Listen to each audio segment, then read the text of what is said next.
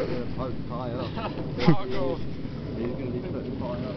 Fuck off, man. Man, no. Oh, you sludged him. Oh, sorry, Dave. Ah. Oh, man.